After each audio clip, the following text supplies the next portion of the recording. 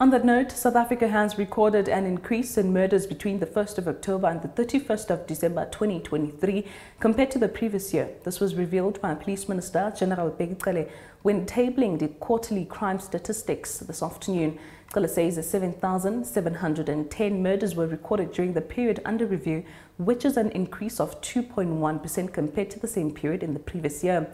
However, Cele mentions that there has been an overall decline of 1.7% in sexual offences crimes.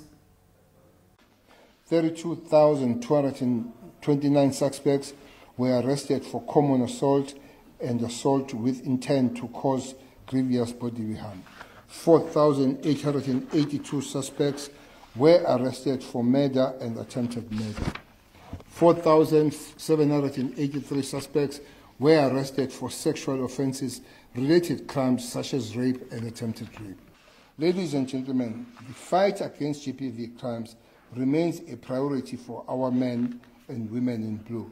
And that is why we are encouraged to report that all our sexual offences crimes, including rape, sexual assault, and contact uh, sexual offences, all registered an overall 1.7% decline during this period. When it comes to the GBVF, a lot of effort has been put on that. Hence, we say we have reduced at 21-22 the year. But not only that, we have created the new capacity when it comes to DNA, Yogqeberha laboratory.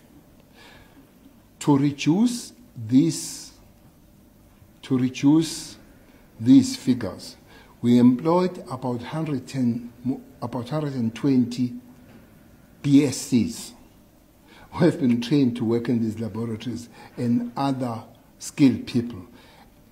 We have contracted new machines and every other thing. And that capacity has been allowed to stay within the environment.